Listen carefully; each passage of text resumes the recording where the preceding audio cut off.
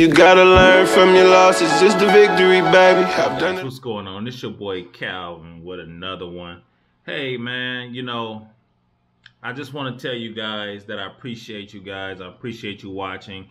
This video is gonna be talking about. I know you've been waiting on this. It's basically the good and the bad and the ugly with the Detroit Land Bank. I said I wasn't gonna make this type of video, but at the end of the day, I got to be transparent. You know, at the end of the day, I appreciate the land bank and I appreciate all that they do at the end of the day. Uh, but it hasn't been a uh, easy ride. Know, I'm gonna tell you about the things that I had to deal with. You know, I'm 13 properties in. You know, um, and that's side lots, houses, all that good stuff, commercial, all that. So we could just start with the first property I purchased was the house that I was originally going to rent out. But then as time went on, it was like it didn't make sense for me to rent this property out and and I'm renting somewhere else. So it made sense for me to make this my home. So um, when I initially purchased the property, I went in, I was an owner now house. I placed my thousand dollar bid. I didn't have any competition. I won the bid. And then I went through the assessment process, which they check to make sure you don't have any foreclosures, blight tickets, etc uh, tax liens, any all that stuff. They check all that. So um, I ran into two issues. They got me and my father mixed up. So I had to prove that I wasn't my father. Then on top of that, I had to prove that I didn't have any tax debt. So in the process of them saying like, hey, no, you're being flagged for this. And I had like, no, that's my father. No, this is paid. And then they say, okay, you're good to go. And then, so I'm like thinking I'm good to go. And so I'm sitting back chilling, waiting for me to get my purchase agreement and all that good stuff. I just so happen to look at the property again. I look on, on the now list. My, the house that I just won is back on the list within like three days after, about two days after me, you know, winning the bid. So I'm like, wait, hold on, what's going on? So I call up there. I'm like, hey, what's going on? It's like, oh, well, such and such, such and such. So I was like, skip this. I call off of work and I go straight up there.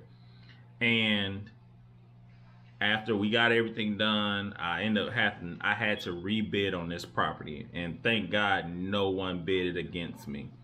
Um, but luckily, the management team over at the land bank got it fixed. I had to deal with a um, a nice young lady. Uh, I think her name was Ani or something like that.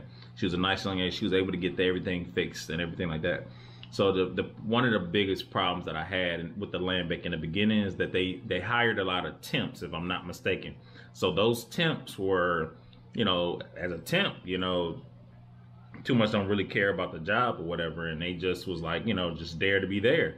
So a lot of people didn't wasn't concerned about you know handling your business versus like a full time employee would. So that was the biggest thing that I had to deal with as far as dealing with the temps that didn't know all the information and it took so long for me to know how the process goes. Um, that was like the biggest drawback. Um, then the second house I purchased, same thing happened. They told me that this was fixed. Turn up, they got me mixed up with my father again. So I placed the bid.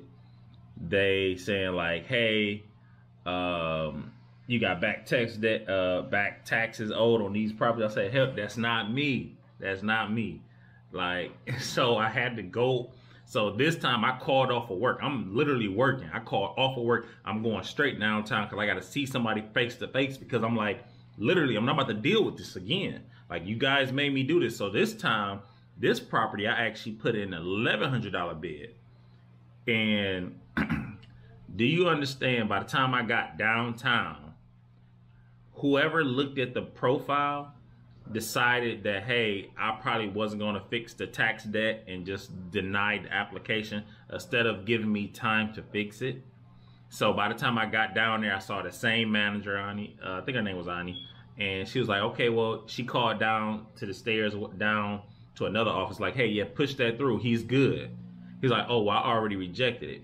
And because the land bank can't manually go in and make somebody the winning bidder, I had to bid on the process all, and wait all over again. I had to wait another three days. And the funniest thing that happened, I almost lost that house because typically when we win the bid on a house, we go and clean it up immediately. We don't just wait till anybody clean the property. We go and clean it up immediately. Um, what happened was is that I actually we went there, cut all the trees down, made it look nice, because we thought we wanted to bid. And do you know some contractor? And this guy looked like he had deep pockets. He pulled up in the driveway and was like, "Oh yeah," he was on the phone talking. We like we drive out like, hold on, who's this and that? No, no, bro, nah, this house is spoken for, big fella. So we had the guy so confused. He went down to the land bank and was like, "Hey, um, is this house up for sale? Because it was two crazy guys out there. You know, it was a crazy guy out there talking about this his house and everything. So I can't tell you exactly who did it, but I can just tell you it was a family member that pulled up on this guy, say, "Hey, what you doing in here? This our house. Don't gnaw." so so funny is, is that the funny thing was is that if we didn't do that, he would he would have found out that he had an opportunity to bid on that property. It was so funny. So because as soon as he decided to go downtown and question about it, it was literally he just missed the bid by like an hour. So it was so funny. But it was all because somebody in the land bank had messed up on, you know, that particular procedure because we I followed all the proper procedures. Um, and from there, every time I made a purchase on a property, they kept making the same mistake, saying that, hey, um, oh, you owe. and it's not like my dad was always back on back taxes. You know, my dad has a bunch of properties, and you know, um, you know, when properties come due, if you got any tax bill that's due, like due, like due now or whatever, not even back, delinquent, just due now, you got to pay that before you, you know, make a purchase. So that was the biggest, uh, that was one of the biggest, fu- the frustrating thing to do because literally every time I had to bid on a house, it was literally always an issue with uh, being um, being able to be approved to to purchase the property. I literally every time I, I always had a problem with that. Um, what else did I have problems with? Um, then the apartment building. The apartment building. I bought that property, and on the list it said that it, the water line wasn't cut. And then get the try to get the water cut on. The water line was cut. And also, I ran into the issue again. I just thought about it. Um, with that property when I bought the apartment building. They kept mixing me up with my father again. So they did that. They mixed me up with my father at least three or four times. You know, uh, and that in itself can be you know piss me off because literally the lady was uh, this particular lady was telling me that I need to get a quick claim deed showing that I don't own the property. And I told her, I said, ma'am, I ain't never had to do that ever in my life. And what if me and my father is not on talk speaking terms? I, I'm not. He's not gonna give me his quick claim deed to his property because you guys can't figure out which Calvin is which. You know, it was so crazy and it was so frustrating. And then um, from there, um, you know, I just said skip it. I won't get the property. And um, but luckily, it ended up uh, it ended up working out and I end up getting the property. Um, I had to, you know, make some calls, and um, and I end up getting the property. Um, but yeah, I, am not gonna lie to you. It, it is some anxiety that comes with uh, purchasing from the land bank. I'm not gonna lie to you. And anybody else that says it's an easy process, it's not an easy process, but it's the best process um, out there. And the reason being is the best thing because I recently been through the whole getting a house on a, uh, through a mortgage. And when I tell you, I am a perfectionist. So I literally analyze the whole thing. And I, when I tell you, giving these mortgage people all this information just for them to ask for it again and ask for it again and ask for it again is the most aggravating thing I can oh my god, I was snapping and everything. It, it, but the fact is, is that. All right, wait, hold on. Before I even get there, let me think if there's anything else that I ran into that was an issue. Um, also, you know, um, dealing with um, dealing with the land bank. So, say if you buy a house and it's a vacant house next door to your house, nine times out of ten, the land bank owns that property. So, if you got trees and stuff that's on your side of the prop on that side of the property that's reaching on your side of the property, that was a hassle. I had a tree that actually was tearing up my driveway. I tried to get the land bank to cut it down, and literally I had to um, get on my BMW. One of the branches off that tree hit my BMW. So by this time, I called the land bank. Said this tree just fell on my BMW. so they thought an actual tree fell on the BMW. It was so funny, but it was like it was a nice sized tree, but it scratched my trunk. And um, I literally had to tell them that for them to get out the. Cause I use I called, called, called, and apparently they have a budget on tree cutting, and they didn't want to waste it on my house, but they did. After going back and forth, probably for a week, um, they end up coming out trimming the trees. I later on end up buying that house because um, I ended up buying the house next door to my first house. So that's how that went. Um, then um, what else happened? Um, what else happened? Uh, what else happened? Dun dun dun dun. Trying to think. Um.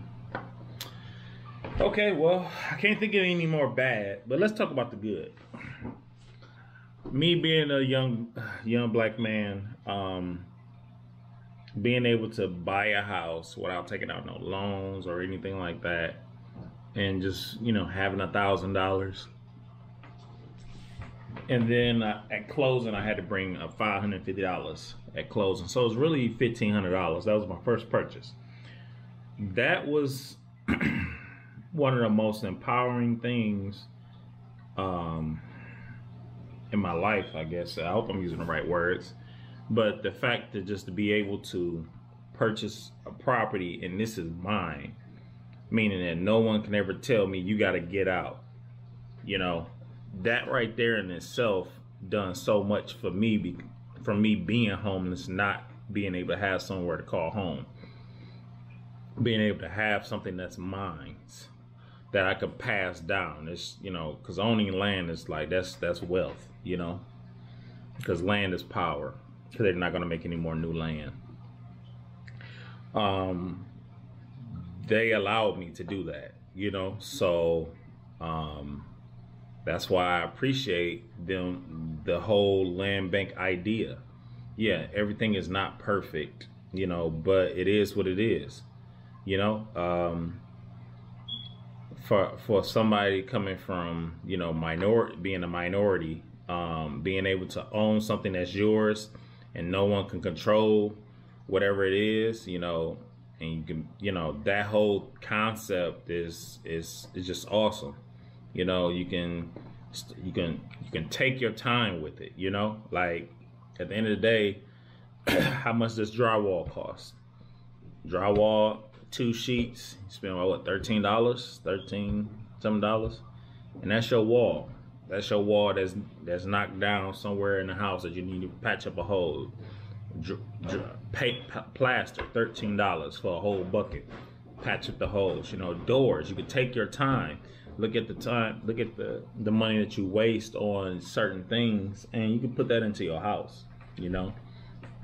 Like i said before you spend $800 a month in rent that's $10000 a year you're investing into somebody else's dream you know when you can be investing into your house so um, that's like the biggest thing that the land bank allowed me to have and then on top of that it is it's a lot of good people that work there that are um, that are concerned with uh, you being successful. You know, um, I have heard in the past that people had some terrible compliance agents. I have had nothing but great compliance uh, agents. Um, you know, because I'm very transparent. You know, like I told them, I say, look, hey, I work two jobs. I'm working two jobs. I'm taking care of a whole family. I'm gonna get it done. Like, just give me some time. You know, I'm doing doing what I got to do. You know, so um, that that being said, you know, it's definitely some great people over there that's working. Um, and then on on top of that, I was able. I think I was the only person actually. I was uh, given the honor to speak at a closing event to talk about my experiences with um, with the land bank and closing at the land bank. You know, um, so that was awesome in, in, itself. You know, me being able, being me being allowed to do that. You know, because that was my first speaking event um, ever, and I'm not the best person to be talking to people. you know, talking to people in big crowds. You know, so that's definitely was awesome, and um, and as I, I always say in my other videos, get up and go get it. You know, because um, you, you, what's the word I want to use? Only you going to be concerned about you being successful. You know, I mean, you may have some people that that uh, that say that they're concerned, but it's really is up to you to do it and get up and go get it because uh, it's out there now. Right now, actively, it is hard right now to buy a house because you have so many entities that have deep pop deep pockets. And they're they're buying up the houses or whatever. So you know that thousand dollar house is more like five thousand dollars i feel like. So you, you just got to move accordingly you got to save a little bit more money. And the best thing about it is i'm here. Um, i'm personally like i told everybody i am retiring from buying homes from the Detroit Land Bank, but I probably still will buy homes from the Detroit Land Bank, but it won't be for me. It'll be for my family.